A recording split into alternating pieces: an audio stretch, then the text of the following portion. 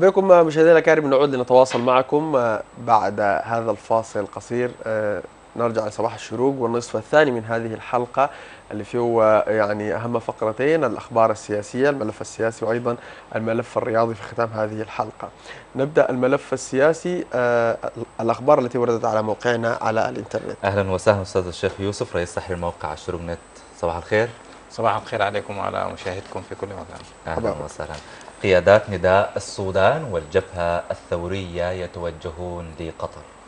غادر أمس الأربعاء وفد من رؤساء وقيادات قوى نداء السودان والجبهة الثورية إلى العاصمة القطرية الدوحة تلبية لدعوة مركز دراسات النزاع والعمل الإنساني الذي يقيم في الفترة من الثامن والعشرين حتى التاسع والعشرين من نوفمبر الجاري ورشة عمل تبحث في بناء السلام المستدام والدور الإقليمي في الإعمار والتنمية في السودان. وتأتي مشاركة رؤساء وقيادات قوى السودان والجبهة الثورية. عفوا في إطار ارتياد وفتح كل الآفاق الممكنة لبحث موضوع إيقاف الحرب وبناء السلام كموضوع وقيمة ظلت تشكل أولى أولويات تحالف قوى نداء السودان. أستاذ الشيخ يعني نتحدث عن هذا الحراك الذي يعتبر أيضا مهم جدا لحركات الكفاح المسلح. هي لا تجلس المفاوضات فقط وإنما أيضا تدخل في في الورش والسيمينارات. كل هذا توطئة للسلام العادل الشامل ربما تأتي بأفكار ربما يعني تأخذ نصائح من هنا وهناك أيضا يعني. هو مركز دراسات النزاع والعمل الإنساني في الدوحة هو مركز عالمي وفيه خبرات كبيرة جدا من أمريكا وبريطانيا خبرات استثنائية يعني حتى من من العالم. والسودان يعني الانتقال السوداني من مرحلة إلى مرحلة الدولة الحكم الراشد أو الرشيد. في كثير جدا من من من الدول بتنتظر النجاح التجربة حتى قوى تحالف قوى نداء السودان طبعا هو التحالف الأكبر على الإطلاق في في قوى الحرية والتغيير. باعتبار أنه بالأحزاب الكبرى كلها جزء منه وقوى الكفاح المسلح لأنه الجبهة الثورية هي عضو في نداء السودان. وأنا بفتكر أنه يعني كثير جدا من مفاوضات السلام من نفاشها حتى الآن في مرات كثيرة شاب قصور وشاب قصر نظر وخسائرها كانت أكبر من في ملاحظات كثيرة يعني. في ملاحظات كثيرة. فالناس دي حيطلعوا على في خلال الورشة دي على التجربة. وكيف كيف نبني السلام الحقيقي؟ ما ممكن في حتة فيها كفاح مسلح وفيها قضايا وفيها مرارات. الحركة تأتي إلى المركز وتندغم مع السياسة المركزية والقضايا تكون محليا موجودة يعني. أها. أستاذ الشيخ شهدنا اتفاق ما بين الجبهة الثورية والحكومة الانتقالية من أجل التوصل لعملية السلام والسلام بجوبا. يعني هذه المشاركة لنداء السودان في قطر إلى أي مدى ممكن تسهم في تعزيز الوصول لسلام وسلام في الشهر القادم خاصة وأنه تم تأجيل المفاوضات يعني؟ أنا أفتكر أنه هي هي هي مسألة ال ال الورشة دي ورشة مهنية في بالأساس يكون فيها خبراء حيطلعوا الناس على أشياء كثيرة جدا شنو المهم شنو ما مهم وشنو الأولوية وشنو الما أولوية. وحتى المفاوضات اللي توق... اللي توقفت في جوبا يعني صحيح كانت منعقدة وتوقفت وبعد ذاك حددوا لها موقع ثاني لكن هذا لا يعني أنه هي متوقفة. الآن المفاوضات والحراك حتى ناس أيوه قيادات كثيره من الكفاح المسلح بتجي الخرطوم وبتجي ده لأنه أصلا نحن ذكرنا إنه هي قوى الكفاح المسلح دي هي ذاتها جزء من قوى الثورة يعني. التي صنعت الثورة يعني على ذكر البناء السلام المستدام وأيضا نشر ثقافة السلام. يعني يعني ما منحصره فقط في الجانب السياسي وحركات الكفاح المسلح أن تضع السلاح إلى الأرض ولكن أن يعني تستمر عملية السلام ثقافة السلام أيضا نشرها من بين الجهات أو المناطق اللي دارت فيها الحروب. أهمية برضو مثل هذه الورش في تعزيز هذه الثقافة المجتمعية للسلام أنا أقصد. نعم وفي حديث في حديث أيضا أسعى لو لو اطلعت على على ما رشح عن الميزانية الجديدة 2020 تحدثت عن أنه في سبع ولايات حيكون عندها أولوية في الصرف وعندها زيادة في الميزانية دي اللي هي اللي شهدت اللي فيها كانت كان فيها كفاح مسلح وفيها حركات نزاعات. مسلح نزاعات وغيرها وأظن أنه الورشة دي حتقدم كثير جدا من المنهجية أها. في التفاوض للناس أها. إلى خبر آخر مبعوث النرويج يبحث مع دقلو عرض مؤتمر دولي للمانحين بالخرطوم. بحث المبعوث النرويجي للسودان أندري ستينسنت يوم الأربعاء مع نائب رئيس مجلس السيادة الفريق أول محمد حمدان دقلو بمكتبه بالقصر الجمهوري ترتيبات التحضير لمؤتمر المانحين لأصدقاء السودان. المزمع قيامه بالخرطوم لدعم عملية الإصلاح في السودان وإسناد الحكومة. وتناول لقاء نائب رئيس مجلس السيادة والمبعوث النرويجي للسودان وجنوب السودان التطورات السياسية الراهنة وجهود تحقيق السلام بدولتي الجنوب والمفاوضات بين الحكومة وحركات الكفاح المسلح لتحقيق السلام بالبلاد. وأثنى المبعوث النرويجي خلال تصريح صحفي عقب اللقاء أثنى على جهود السودان الرامية لتنفيذ اتفاق السلام بدولة الجنوب باعتباره الضامن لها. وأكد دعم بلاده للدور الذي تطلع به جوبا في رعايتها للمفاوضات التي تجري بين الحكومة وحركات الكفاح المسلح. لافتا إلى ثقة بلاده في قدرة والتزام السودان بتحقيق السلام الشامل على أرض الواقع. وأوضح المبعوث أن اللقاء تناول التحضيرات المشتركة لاجتماع أصدقاء السودان الذي سيعقد بالخرطوم خلال الفترة المقبلة الذي يعد فرصة للحكومة لإطلاع المجتمع الدولي على جهودها في عملية الإصلاح الجارية وما يمكن أن يقدمه من دعم للسودان في هذا الشأن. يعني عدد من من المؤتمرات يعني بتنا نسمع إنه ستقام في السودان للمانحين لأصدقاء السودان آه، مؤتمرات أيضا لمستثمرين كلها تصب في الشأن الاقتصادي في المقام الأول للسودان. آه، إلى أي مدى هذه الفعاليات يمكن أن تكون جادة فيها الدول التي تعهدت بقيامها آه، حتى تدعم السودان في الفترة الانتقالية؟ وما هو المطلوب من من الحكومة قبل قيام هذه الفعاليات؟ وأثناء وبعد قيام هذه الفعاليات. وطبعا مثل هذه الفعاليات يعني فرص قد لا تتاح لك في في ظرف غير الظرف الآن، الآن معروف أن السودان منتقل في في, في حكومة انتقالية تؤسس لحكم راشد ولتجربة ديمقراطية أفريقية. وفي ناس كثيرين جدا بيكون يعني حابين يساعدوا. ودي فرص نحن المفروض ننتهزها أنا بفتكر إنه النرويج باعتبار إنها هي ال ال ال السكرتارية أو الدينامو المحرك بتاع الترويكا يعني اللي هم أصلا هم الناس اللي كانوا وراء سلام جنوب السودان وما آل إليه من دولة مستقلة وغير ذلك. وهم غير راضين أيضا عن التلكؤ اللي كان حصل في اتفاق السلام في في جنوب السودان حكومة جنوب السودان. أفتكر إنه إنه الأخ الفريق اول محمد حمدان حمدتي هو مطلع الآن ب بدور سوداني أو هو على رأسه يعني ولكن الدور ده فيه قوات من الجيش ومن الأمن وكده. على يسرعوا في فت في الفرصة اللي كانوا أعطي اعطتها القمة الثلاثية للجنوب أنه فالنرويج مهتمه جدا جدا بالسلام في جنوب السودان وفي نفس الوقت آه، مهتمه بأنه التجربة الديمقراطية في السودان ما ما ترتد. ولهذا أنا بفتكر آه، قلت أنت المطلوبات آه، نحن يعني عندنا شغل كثير غير الاستثمار غير في بيئة كثيرة. أنا بفتكر أنه من المبشرات الحديث كان أمس عن عن عن عدد من القوانين. قوانين بتختص بتختص بالخدمة المدنية وتفكيكها وتنظيمها وترتيبها. يعني إعادة هيكل ربما إعادة هيكل إعادة الهيكل عدد من المؤسسات ودمج عدد من المؤسسات وإنشاء عدد من المؤسسات. في كثير جدا من يعني السودان ده زي محتاج إعادة صياغة يعني إعادة ضبط المصنع كده عشان ندخل بعد ذاك بس إعادة ضبط المصنع. أستاذ الشيخ يعني السلام الذي تم آه، باجتماع حركات المسلحة الجنوب السودانية على أرض النيلين وكان ضامن الرئيس الحكومة السودانية الفائتة. إذا تحدثنا في هذا الحديث يعني آه، نائب آه، رئيس مجلس السيادة والمبعوث النرويجي تحدثوا عن سلام دولة جنوب السودان. عندما يتحقق السلام تتحقق يتحقق الاستقرار وأيضا التنمية. ما المطلوب من الشركاء في حكومة جنوب السودان؟ من أجل التوصل لحكومة وحدة وطنية سريعة حتى تتحقق عملية التنمية ما بين البلدين سواء كان الشمال أو الجنوب؟ هو هو المشكلة في جنوب السودان في يعني في عدم ثقة بين الأطراف اللي هو عدم الثقة ده. لابد أنه في السياسة أنت ما ممكن تنال كل ما تريده يعني.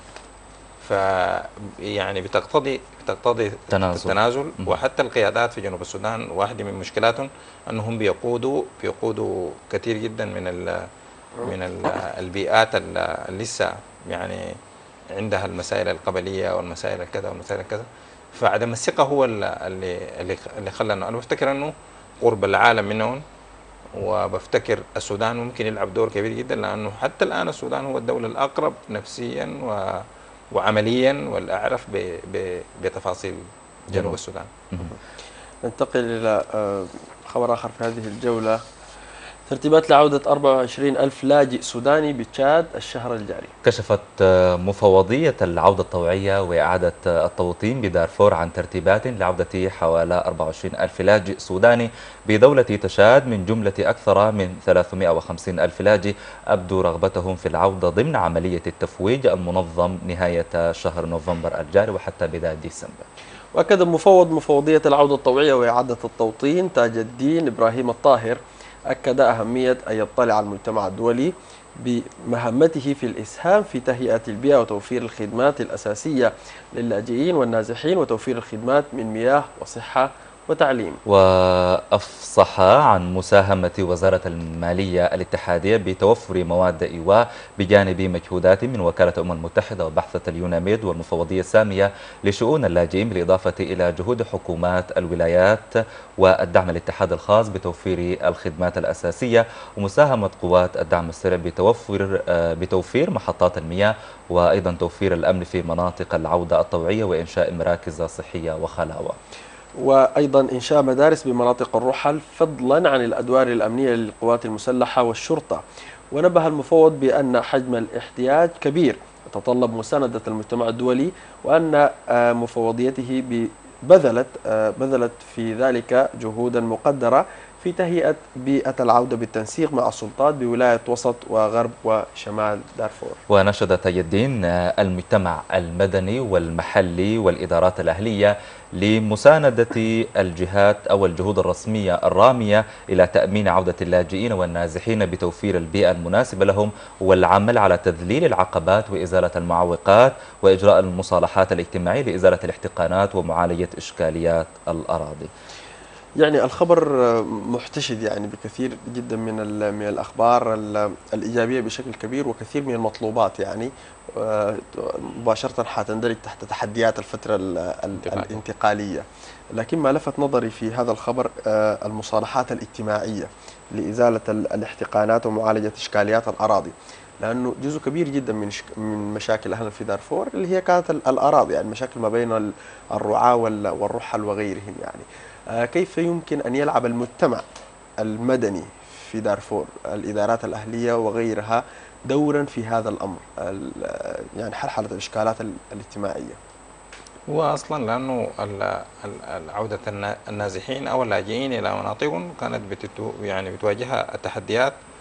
آه، غير اللي ذكرت في الخبر أهمها التحدي اللي أنت قلته آه، المسائل الأمنية.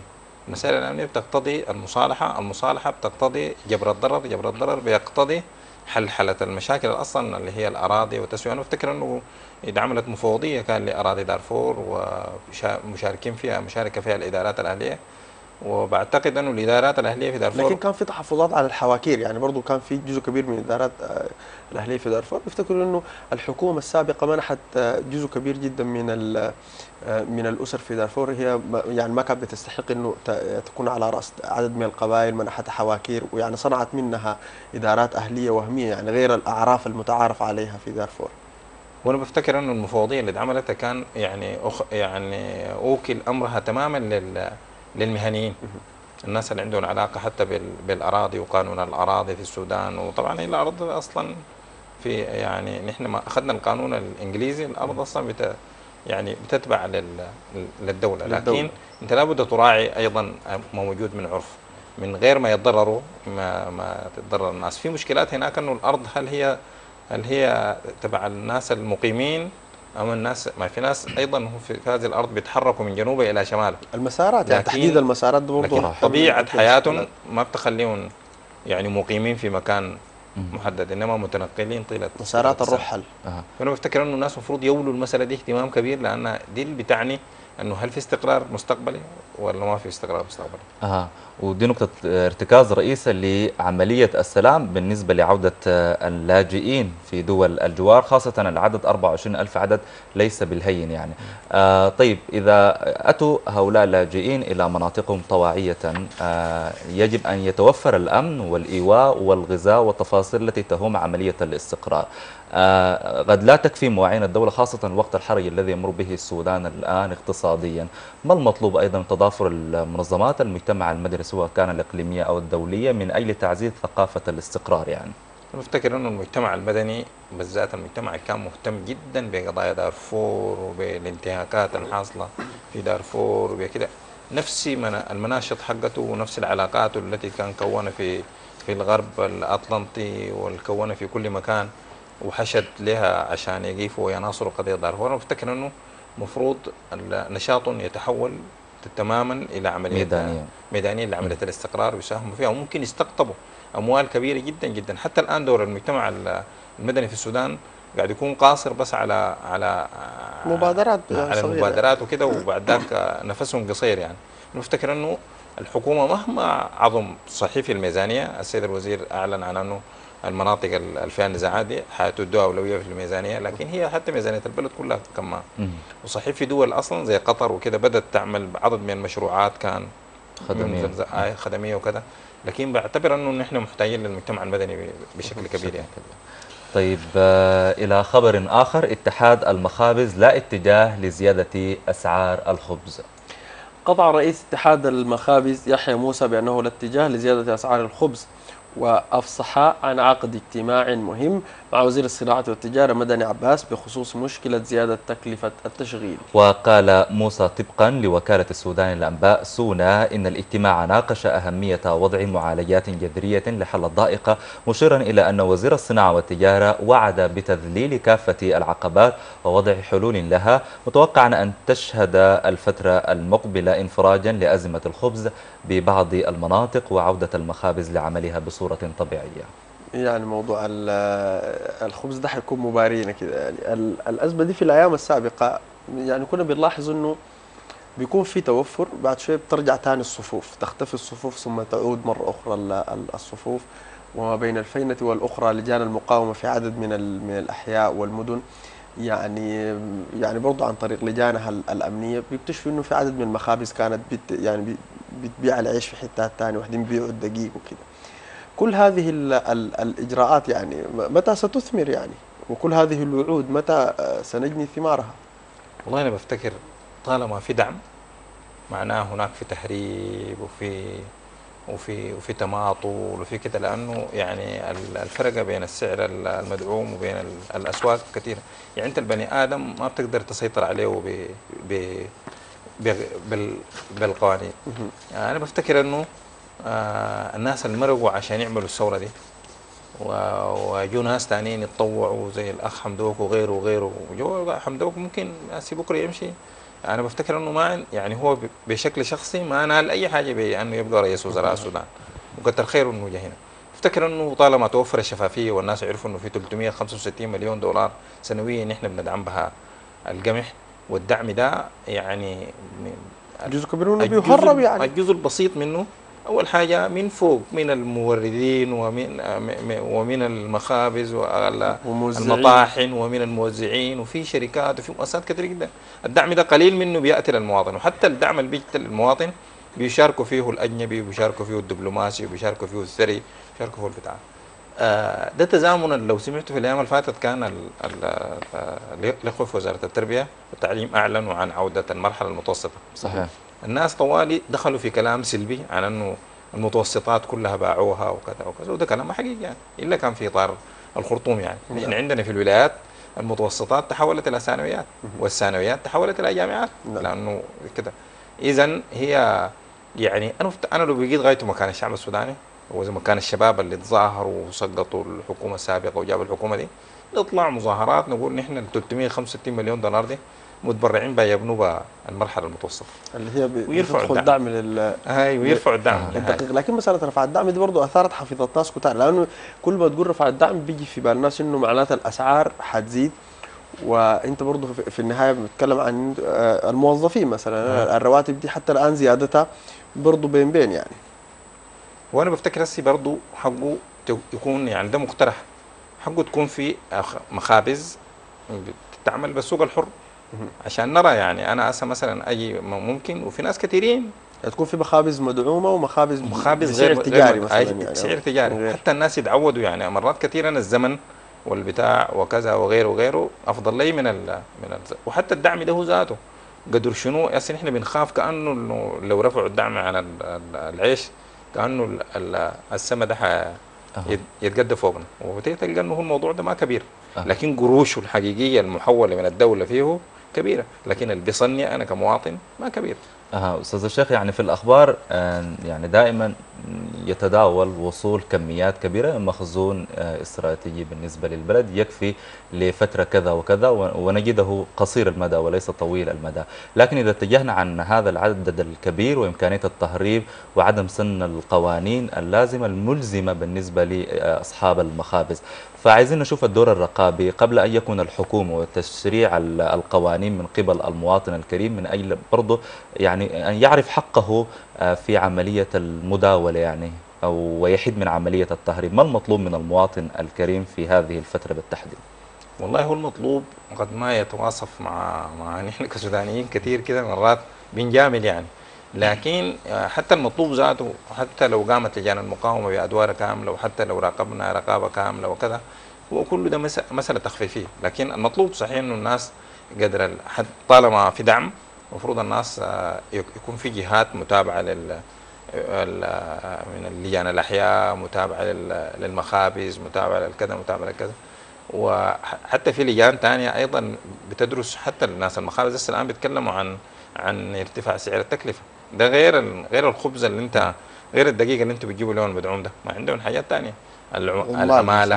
العمالة والكهرباء وغيره وغيره وغيره والمياه وال...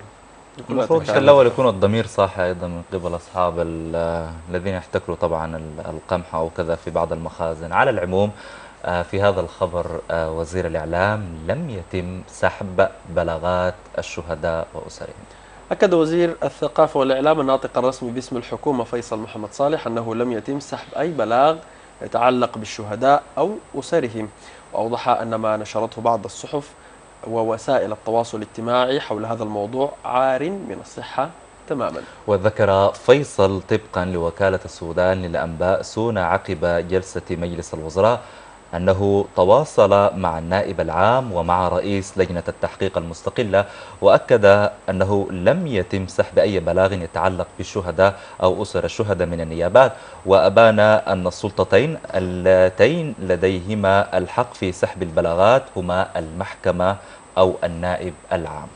يعني هذا الأمر يعني أثار أيضا حفيظة الكثيرين وربما خرجت تظاهرات آه، ويعني غضب كبير في في بعض المناطق في الشارع لأنه فعلا يعني إذا صح هذا الخبر هو يغضب يعني كيف تسحب بلاغات الشهداء وأسرهم. الآن هذا الحديث يعتبر تطميني لكن خلينا يعني ندخل إلى صلب الموضوع مباشرة يعني. ما الذي يحدث في في لجنة التحقيق المستقله حتى الآن؟ وما الذي سيحدث أو يتوقعه ال- الناس فيما يخص آه، بلاغات ال- الشهداء وأسرهم؟ طبعا نحن في الشارع رافعين سقف التوقعات شديد يعني. لكن ما هو ال- المتوقع بلغة المنطق والحقائق والبينة على من ادعى واليمين لمن أنكر؟ وطبعا نحن يعني ذاكرتنا السودانية وثقافتنا أنه بنخلط بين السياسة والعدل والكذا وكذا وأنه بين السلطات دي اللي هي أصلا منفصلة وكانت متداخلة مع بعضها. في ال- البلاغات اللي تكلموا عنها دي دي بلاغات من أشخاص ورفعوها يعني اسر الشهداء دي بلاغات ما في شخص أصلا بيسحبها ولا حتى المحكمة ما ممكن تسحبها. بلاغات حتى المحكمة ما بتقدر تس- تسحبها. دي بلاغات بيسحبها صاحب البلاغ ال- رفع البلاغ دي مسألة قانونية خالص ما عندها أي علاقة بالسياسة. وحتى نحن يعني نحن نحن الآن بنرسي في الأدب بتاع يعني استقلالية السلطة القضائية من بتاع. فبلاغ طالما بلاغ را- رفعه أسر هي التي هي التي تشطب. البلاغ أو أن البلاغ من من منذ أول يوم ما اكتملت أركانه بتشطبه النيابة نعم. لكن أن تسحبوا جهة سياسية دي ما دي ما في طريقة لها يعني طيب أم- أما الحديث عن اللجنة اللجنة دي بت يعني ما بت يعني بتمضي في سماع الشهود في جمعها للبينات وحتى الرجل يعني. الرجل اللي بيقوده رجل مشهود له يعني عبر تاريخه يعني راجل دغري يعني. لكن الشارع برضو يعني زي ما تكملة للسؤال يعني آسف يا حمزة. الشارع رافع سقف سقف التو- التوقعات بشكل كبير جدا.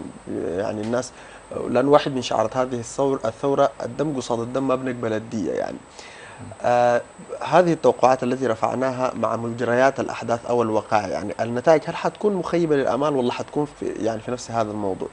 وطبعا ده سؤال شوية كده. صعب شوي يعني تريكة هي هي- لكن هو هو هو هاي انت ما بتقدر تتوقع يعني. ما بتقدر تتوقع الأشياء. لكن أنا بفتكر إنه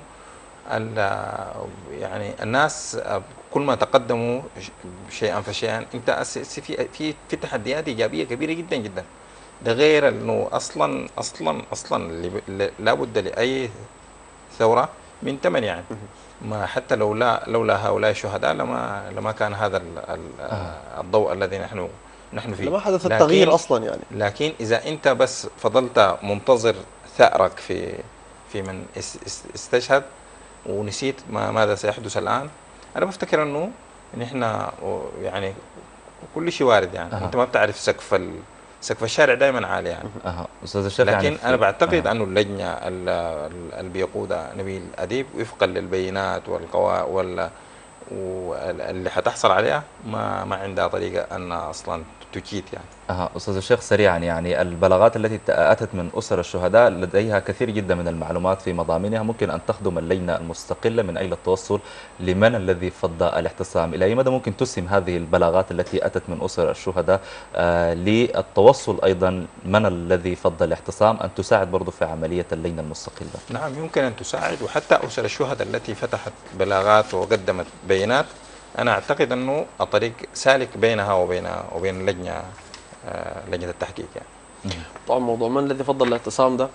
نحن كلنا في الفيسبوك عندنا رأي أنه يعني عارفين يعني الناس بيتعاملوا بهذه ال- بهذه الروح. عموما نتابع مجريات الأحداث ونتابع أيضا ما سيحدث في مقبل الأيام. شكرا جزيلا الشيخ يوسف كتر خيرك شكرا جزيلا لكم يا أخي كتر خيركم. شكرا جزيلا